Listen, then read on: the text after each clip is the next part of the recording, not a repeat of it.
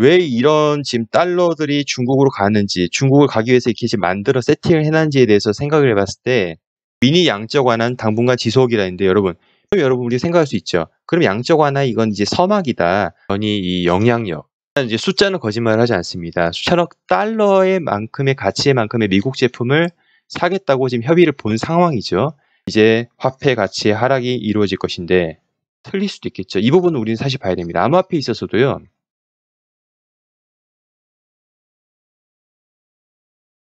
네, 반갑습니다, 여러분. 오늘 제가 말씀드릴 거는 어, 지난 시간 이어서 중국 지금 우한 폐렴 관련해서 어, 말씀드리면서 지금 이 사안이 단순한 우한 폐렴 사안으로만 볼 것이냐라고 했을 때 조금 더 우리가 이제 암호화폐 투자와 연관지어서 본다면은 어떤 것과 연관이 있는지를 조금이나마 이 안에서 의미를 좀 제가 어, 꺼내봤습니다. 그래서 이제 결국 우리가 암호화폐 투자를 한 이유는 많은 돈을 벌기 위해서 지금 투자를 하는 것인데 이게 돈을 과연 버는 건지 아니면 이제 신용화폐의 가치의 하락이 온다. 특히 달러가 붕괴된다. 이런 말 많이 들어보셨을 건데요. 그 내용까지 해서 오늘 방대하게 다루진 못할 겁니다. 그렇지만 그 내용과 좀 연관지어서 오늘 좀 차근차근하게 말씀을 어, 드려보고자 합니다. 이 먼저 우한폐렴에 대한 현재 상황은 여러분이 기타 여러 매체를 통해서 어, 지금 접하셨을 겁니다. 그래서 현재 이 지금 전염 속도라든지 규모라든지 바이러스의 전이 이 영향력 음, 이런 걸 봤을 때 예전 2002년 11월에 일어났던 사스 때와는 지금 비교가 안 될 정도로 어, 이미 그걸 넘어섰죠. 그래서 이 홈페이지 여러분 보셨을 겁니다.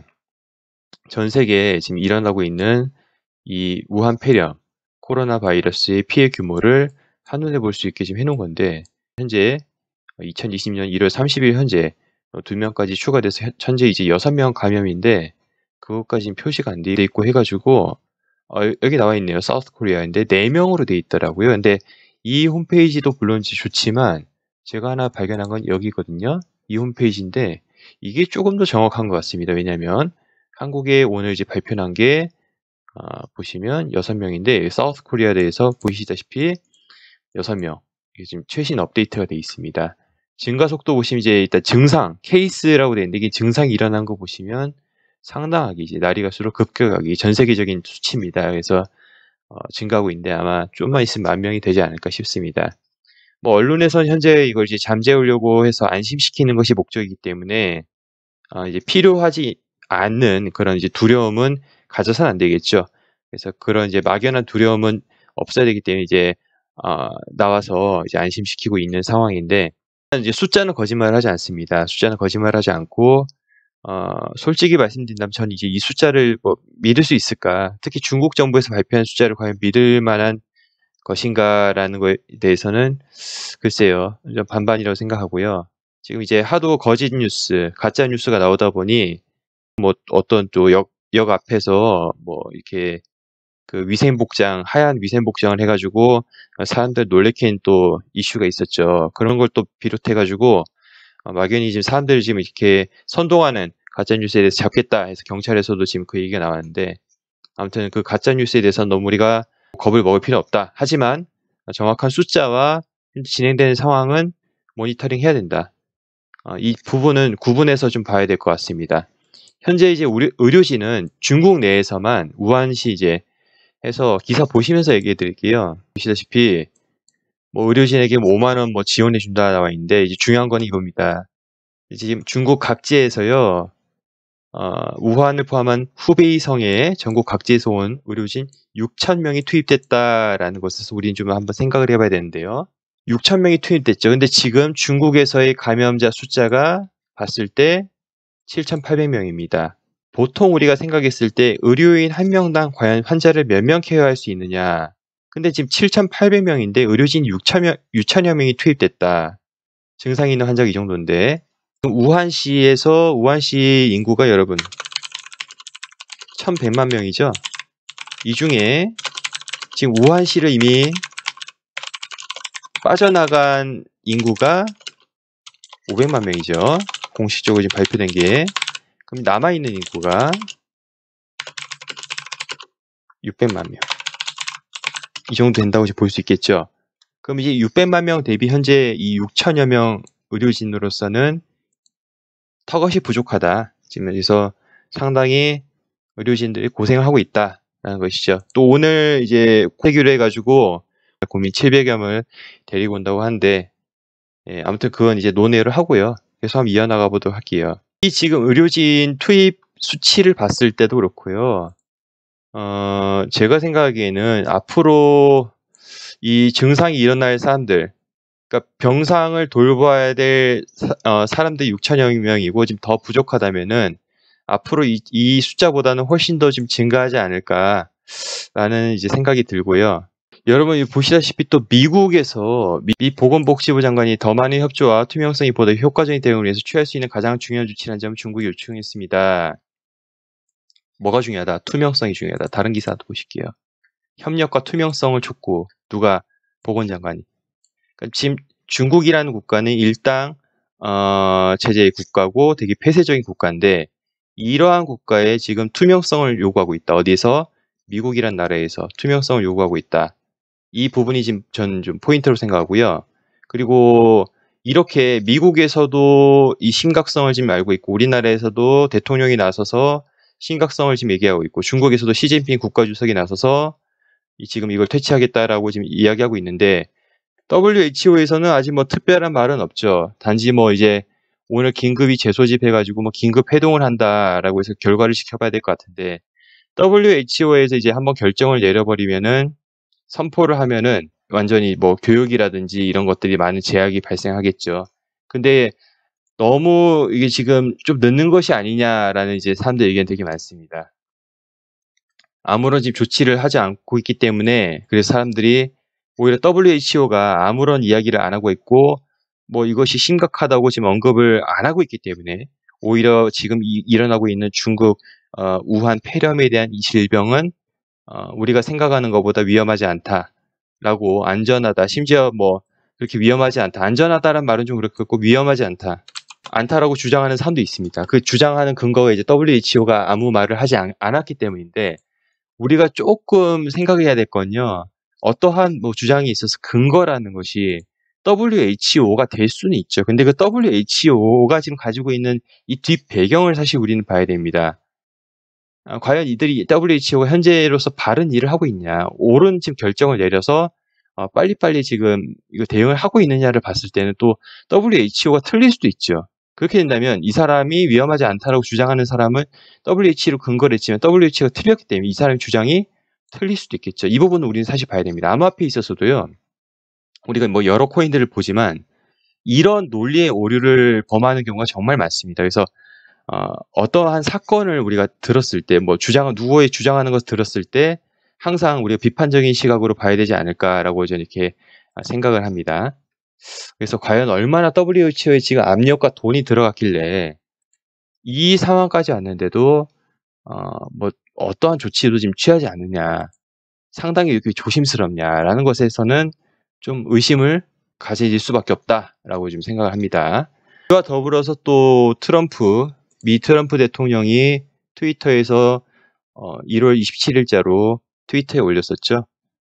중국과 현재 어, 바이러스에 대해서 매우 긴밀하게 어, 지금 협의를 하고 있고, 어, 우리 지금 미국에서도 되게 엄격하게, 되게 이제 강하게 어, 현재 이 상황을 주시하고 있는데, 만약에 시진핑 국가주석이 어, 우리의 도움을 원한다면 우리는 도와줄 수 있다라고 지금 도널드 트럼프 대통령이 지금 이야기를 하고 있죠.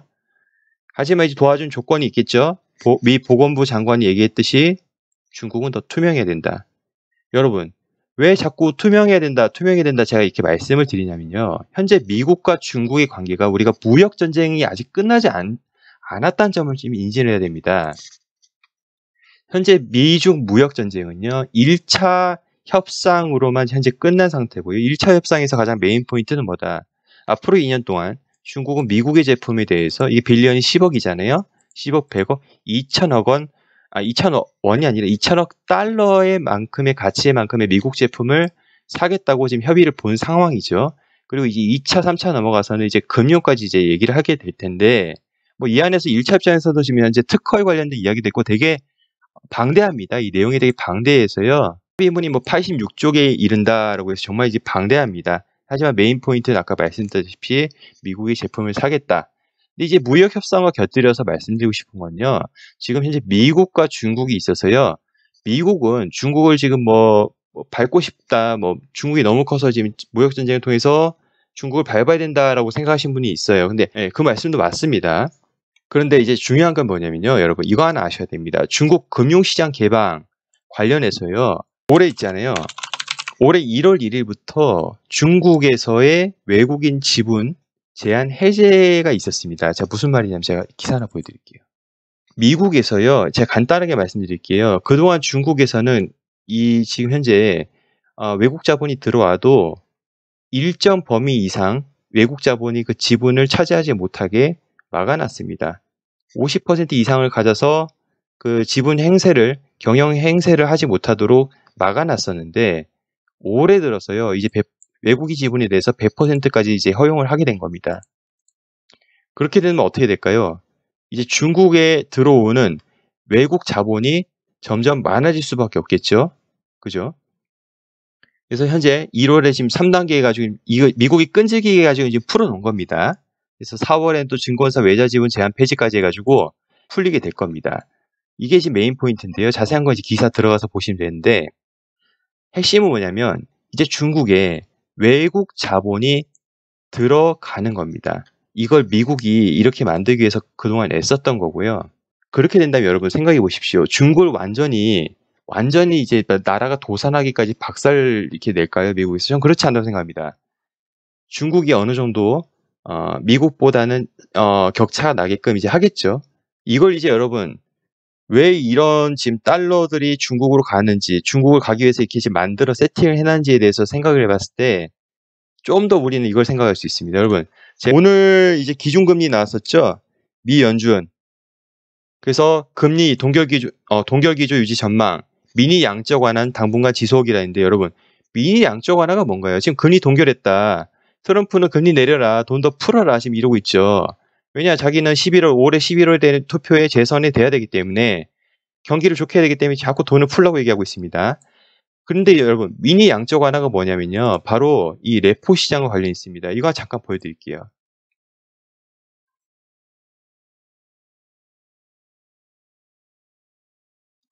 repurchase agreement라고 여러분 이게 레포 시장을 얘기하는 건데요.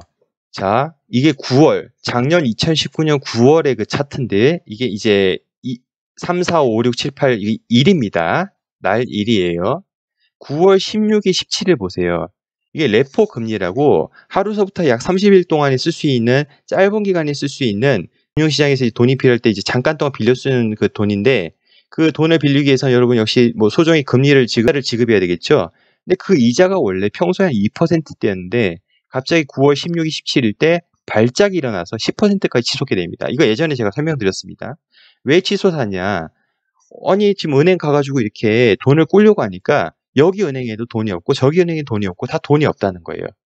은행들이 다 돈을 킵하고 싶어하고 시장이 워낙 불확실하다 보니까 돈을 다 가지고 싶어하고 빌려주기를 다 꺼려하다 보니 빌릴 데가 없으니 점점 이자는 높아지고 높은데 점점 높아지다가 발작이 일어났던 거죠. 그래서 연준에서 풀겠다 해가지고 그때 이제 그 말이 나왔었죠. 9월에 가지고 그래서 이게 미니 양적 완화다. 근데 연준에서는 이건 양적 완화가 아니다라고 얘기하죠. 왜냐? 양적 완화라는 것은요. 자, 여러분 이렇게 생각하시면 됩니다. 왜 연준에서는 양적 완화라는 말을 딱 잘라서 얘기 이렇게 아니다라고 딱 잘라 얘기했냐면 양적 완화라는 것은 기본적으로 10년 10년물 채권에 대해서 이제 그걸 통해서 돈을 풀었을 때를 양적 완화로 우리 얘기하기 때문에 아직 그 초단기성으로 지금 현재 이렇게 연준에서 돈을 풀고 있기 때문에 이건 미니 양적 완화지 양적 완화가 아니다. 그럼 여러분 우리 생각할 수 있죠. 그럼 양적 완화 이건 이제 서막이다. 달러를 풀어내는데 서막이다. 달러 가치의 하락의 서막이다라고 볼 수 있겠죠. 이렇게 된다면 단기로 현재 이제 단기로서 언제까지 이 현상이 지속이 되느냐? 유동성이 문제잖아요. 돈이 갑자기 없으니까 경색이 일어난 거거든요. 2020년 2분기까지 단기물 국채 매입은 최소한 2분기까지 이어가기로 했다. 그리고 초단기 유동성 공급하는 환매부 채권 이른바 레포 시장에 대한 개입도 4월까지 지속하기로 했다. 그러니까 당분간 1분기, 2분기까지는 이 짧은 기간의 유동성을 연준에서 자꾸 도와주겠다. 라고 지금 얘기, 이야기를 하는 것이죠. 그 뒤에 그래서 연준은 월 600억 달러 규모 단기물 채권을 사들이며 개입에 나선 바 있다라고 이제 여러분 그 옛날에 그 기사 같이 한번 우리가 봤었습니다. 이러면 이제 여러분 여기까지 왔어요. 자, 우리가 그럼 좀 정리를 할게요. 여기까지 왔는데 현재 이제 미중 무역 협상은 1단계고 아직 완료된 것이 아니고 진행 중이라는 사실. 두 번째, 중국 금융시장 개방. 제가 말씀드렸죠? 이제는 100%까지 가능하다. 여태까지 51% 지분을 지분권을 가져가지고 이제 경영권 행사를 못하게 막아놨었는데 이젠 가능하다. 이것은 미국이 여태까지 원해가지고 계속 두들겼는데 이제 됐다. 오, 언제부터? 이제 올해부터 4월부터는 이제 전체적으로 되는 거고요. 자, 세 번째, 미국 양적 완화 조짐. 이미 미니 양적 완화는 레포 시장을 통해서 이미 작년 9월부터 시작이 됐다라는 거 여러분 위에서 방금 보셨고요. 그런데 이제 겹친 게 또 뭐가 겹쳤나? 우한 폐렴 사태가 현재 겹쳐, 겹쳐가지고 근데 이제 중국 증시가 언제 지금 개장이 될 거냐면요. 자꾸 연장이 됐어요. 춘절 연장으로 인해서 2월 3일에 이제 증시가 열립니다. 여러분, 그럼 이제 어떻게 보실까? 이 그래프와 진행 속도를 봤을 때 2월 3일까지 이것이 갑자기 팍 꺾여가 진정이 될 거라고 보시는가요? 현재 바이러스의 진행 속도 이런 거 봤을 때. 우리나라 주식도 지금 어, 증시도 그렇죠. 뭔가 어제까지는 진정된 듯한 느낌 줬지만 시장은 정말 냉정했습니다. 바로 코스피 안 좋았죠. 이걸 봤을 때 2월 3일 중국 증시 불보듯 뻔합니다. 그럼 이것이 현재 들어와야 할 돈들이 있고 매수를 해야 될 그 돈들이 달러가 지금 들어올 텐데 달러는 이제 계속 풀 것이고 앞으로 그 푼 달러들이 잠길 곳이 중국 시장이라고 저는 생각을 합니다. 여러분 뭔가 연결이 지어지십니까? 이 중국 증시의 안 좋은 지금 영향 물론 이제 이 질병이 이 전염병이 나중에 이, 이 요소들이 해소가 되면 다시 증시는 뭐 호전이 되겠죠. 그런데 증시가 이렇게 지금 꼬꾸라지였을 때 과연 이 저점 매수는 어느 자본이 할 것인가? 현재 이 타이밍이라는 것이 너무나 기가 막히지 않나요? 뭔가 좀 합리적 의심을 해봐야 되지 않나 생각합니다. 현재 우한 수산시장에서 30km 떨어진 곳에 중국의 그 첫 바이러스 실험실에서 유출된 것이라는 설이 있습니다. 그 설이 이제 어디서 나왔냐면요. 사실 이 기사에서 나왔습니다. 워싱턴 포스트라고 얘기하신 분인데 워싱턴, 어, 워싱턴 포스트가 아니라요. 워싱턴 타임즈라는 곳에서 아, 나온 것이었습니다. 원래 이게 이제 여러분 보시면 보시면 미국에서 마일이라는 단어 쓰잖아요. 이 biosafety lab, 그러니까 이 실험실이죠. 이것이 그 seafood market 수산 시장으로부터 20마일 떨어져 있다. 여러분 20마일의 수치를 킬로미터로 변환하면 32km. 즉 30km 떨어진 거 맞죠? 약. 그래서 여러분 그 30km, 30km, 킬로미터라는 그 단어를 여러 뭐 댓글이나 뉴스나 뭐 인터넷 통해서 많이 접하신 게 바로 이 워싱턴 타임스에서 나온 기사 20마일 이것 때문에 나왔던 겁니다. 그래서 이걸로 인해서 나온 인위적인 바이러스가 아니냐, 실험실에서 나온 바이러스가 퍼진 것이 아니냐, 그런 말이 많았던 게 바로 이것 때문입니다. 과연 이것이 정말 인재로 인해 일어난 사건인가? 아니면 정말 야생동물이, 야생동물에 의해서 일어난 사건인지, 실수 일어난 사건인지, 아니면 누군가가 중국을 현재 지금 밟기 위해서, 저점 매수를 하기 위해서 자본이 들어와야 되는데 현재 중국이 너무 고평가돼 있으니까. 여러분, 중국 GDP입니다. 2002년, 10, 어, 2002년, 2003년, 사스가 발생됐을 때 이 파란색 가운데입니다. 중화인민공화국, 즉 중국이죠. 중국의 GDP 이 규모와 현재 2017년까지 나온 수치 이 중국의 GDP 규모를 보십시오. 10배 가까이 됩니다. 10배 가까이. 이러니 중국 규모가 너무 고평가되어서 어, 이 현재의 사건으로 인해서 증시가 어느 정도 좀 이제 진정이 돼가, 돼서 규모가 너무 커졌죠. 너무 커지니까 아 조금 더 낮은 곳에서 우리가 왜 비트코인 할 때도 그랬지 않습니까? 2017년, 18년, 19년 어땠습니까? 시장이 진정되면서 그때 뭐 smart money 들어온다 지금 그랬었잖아요. 뭔가 대거 money가 그러니까 대규모의 자본이 들어 들어오기 전에는 시장이 한번 박살이 났었죠. 아마 중국도 이러지 않을까. 조심스럽게 생각을 한번 해봅니다. 그래서 중국 시장을 쪼그러뜨리기 위한 국가나 세력이 유출한 인공적인 바이러스인지 아 이 생각은 좀 위험할 수도 있는데 근데 또 아침 또 미 보건장관이 중국의 투명성을 요구하고 있죠. 이 과연 투명성이 질병 관리에 대한 투명성만 요구를 하는 것인지 이제 앞으로 미국 자본들이 많은 미국 자본들이 들어올 텐데 전체적인 중국에 대한 투명성을 요구하고 있는 것인지 한번 생각을 해볼 문제로 생각합니다. 아, 그래서 이 지금 현재 질병과 이런 이 모든 상황들, 양적 완화 이런 것들을 다 봤을 때 어느 국가가 가장 유리하냐? 바로 전 미국이라고 생각합니다. 미국이 전체적으로 유리할 수밖에 없는 상황입니다. 현재 시나리오상으로. 그 다음으로 뭐 중국도 어 저는 뭐 나쁘지 않다고 생각하는 게 왜냐하면 어 이제 많은 자본들이 들어와서 또 투자가 유치가 되고 하면 또 다시 성장을 할 거지 않습니까? 미국은 중국을 완전히 박살내지 않을 겁니다. 이제 미국은요. 어, 미국 자체는 금융시장이 발달된 있 나라이기 때문에 이제 자기가 일을 하지 않아도 어느 나라에 투자를 해서 그 나라가 성공을 하면은 그만큼 투자 수익을 또 걷어가는 거지 않습니까? 돈들이 다시 일로 또 가는 건데 리턴이 돼가지고 이득을 취할 건데 아마 중국 밟아가면서 어, 적당하게 밟아가면서 키우지 않을까 생각합니다. 이들이 원하는 것도 바로 그거고요. 왜냐 현재 미국 말씀드렸습니다. 2030년까지 적어도 10년 이상 바라보면서 이 투자 시장 겨우겨우 지금 열었습니다. 애를 써서 열었습니다. 저는 그래서 이렇게 여러분 이렇게 생각합니다. 정말 미국이 양적 완화를 하지 않고 미국 혼자서 잘 먹고 잘 살았다면은 이러한 중국 막 금융시장까지 이렇게 개방시켜가면서 이랬을까? 저는 이 양적 완화가 양적 완화가 미니 양적 완화로 인해서 이미 이미 그 서막이 시작됐다고 보고 있고요. 입장에서 이제 아는 겁니다. 이 많은 엄청난 달러 찍어야 될 텐데 이 달러를 잠길 수 있는 곳 위안화를 밟아, 밟아서 결국 중국도 이제 위안화와 달러의 전쟁이었는데 이제 위안화 지게끔 만들어서 달러가 들어가게끔 만드는 거죠.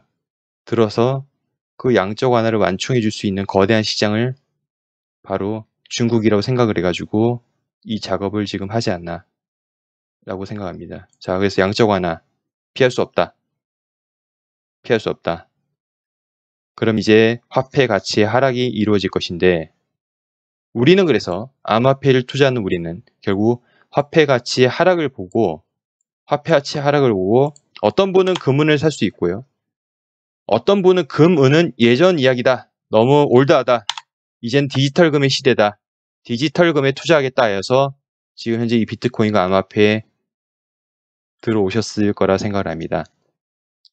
어느 쪽이 됐든 어느 쪽이 됐든 화폐 가치는 하락하고 자산 가치는 어떠한 가치를 저장하는 수단은 화폐 가치가 하락함으로 인해서 그 숫자는 가치를 평가하는 그 숫자는 신용화폐 상의 숫자는 올라갈 것입니다. 저는 그렇게 보고 있습니다. 그래서 오늘 전반적인 이런 이야기를 우한폐렴, 양적 완화, 미중 무역 협상 이 여러한 상황들을 통하여 풀어 나가 봤습니다. 오늘 영상 도움이 되셨다면 좋아요 부탁드리고요. 아직 구독 안 하신 분들 구독 부탁드리겠습니다. 다음 영상에서도 찾아뵙도록 하겠습니다. 여러분 시청해주셔서 감사합니다.